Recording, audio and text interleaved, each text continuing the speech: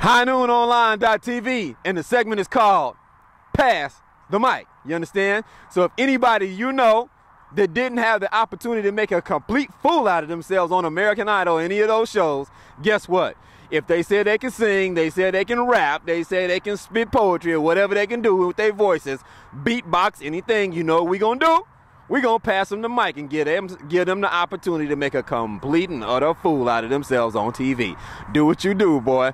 Uh, 50 Tyson or any of them boys like that? Yes, sir. We're gonna give you the opportunity. We're gonna pass you the mic, partner, and let you embarrass yourself on TV if that's what you do. Either make it or break it, partner. High Noon Online.tv, and the segment is called Pass the Mic. Did it pause?